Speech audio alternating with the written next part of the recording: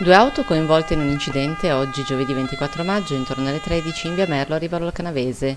Una donna di Rivarolo di 58 anni ha perso il controllo della Fiat Punto che stava guidando, la quale ha invaso la corsia opposta e ha fermato la sua corsa contro una Renault Clio parcheggiata, con a bordo un 74enne residente a Torino che si stava accingendo a scendere dall'auto.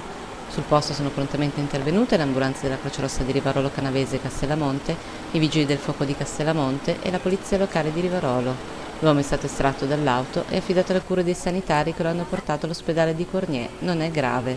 La Renault Clio nell'impatto è indietreggiata e ha tamponato una Ford Kuga parcheggiata.